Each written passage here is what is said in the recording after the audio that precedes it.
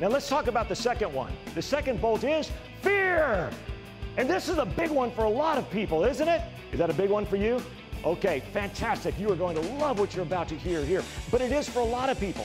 Fear of failure, fear of success, fear that the employees aren't going to buy into this new concept, fear that it actually won't spread out to the, uh, to the customers, fear it won't make it. There's a million fears out there. Fear of the unknown, fear of getting started. And it's amazing because we get these fears in our head before they actually even happen, don't we? Have you noticed that? Here's an example.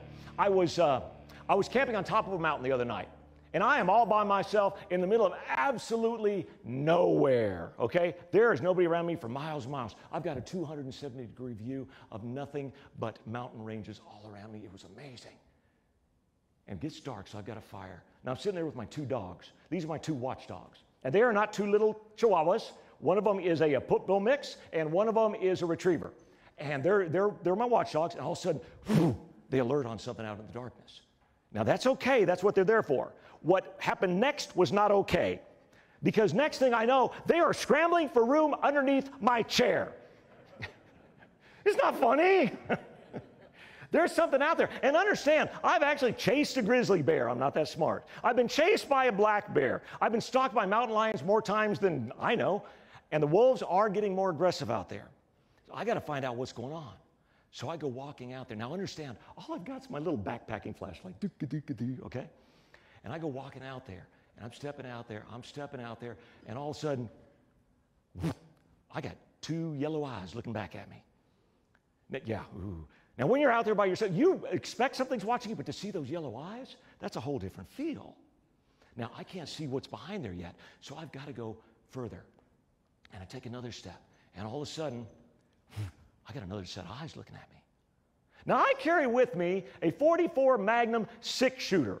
This is the most powerful mass production handgun in existence, and it's time to unsnap it, right? but I still can't see what's out there, so I take another step and another step. I get another set of eyes looking at me. This is God's honest truth, everything. God's honest truth. Time to pull it out. Another step. I got another set of eyes looking at me. And another set of eyes. Now, I have five sets of eyes looking at me. I only got six bullets, and I'm not that good of a shot to begin with. And right at that moment, my gun decides to malfunction because it starts vibrating.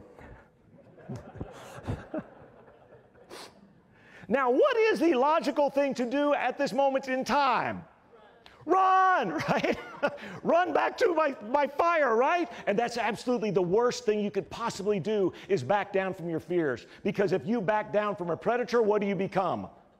Prey, absolutely. If you back down from your fears, you give them more strength. You give them power over you. And the worst thing you could possibly do, no matter how much you want to, is go back to the theoretical safety of your comfort zone because that's where dreams, goals, and people go to die.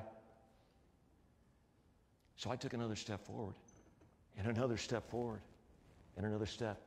And then it turns out I did see what was behind there, and I was surrounded by a pack of deer. of deer. That's all it was. What were they going to do to me? Eat my salad? I didn't have salad. No, but we get these things in our mind false experiences appearing real. All the bad things are going to happen before we even take that step, before we even make that sales call.